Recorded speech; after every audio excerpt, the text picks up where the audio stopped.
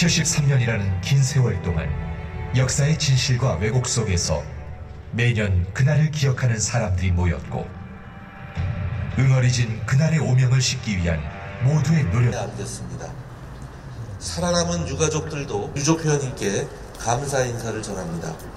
정부도 열하고 자유 대한민국의 아픈 현대사를 치유하겠습니다. 사는 유족 김명자입니다.